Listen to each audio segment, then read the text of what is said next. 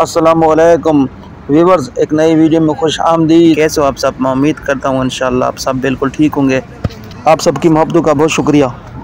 अभी मैं जा रहा हूँ हमदानिया के रास्ते पर। ये नया रास्ता बना हुआ है, नया रोड है। सामने देखो, शबक भी बनी हुई है।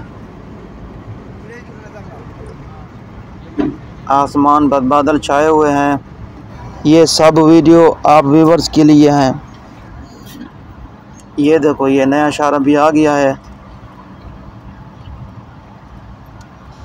ये है नया शहर माशाल्लाह, इस शहर में बर्फ़ की दुकानें हैं। मकाम पाकिस्तानी भी है, पाकिस्तानी होटल भी है। और इस शहर के साथ ये नई बिल्डिंग है। बड़ी बड़ी नई खूबसूरत बिल्डिंग है। आप देख रहे हो।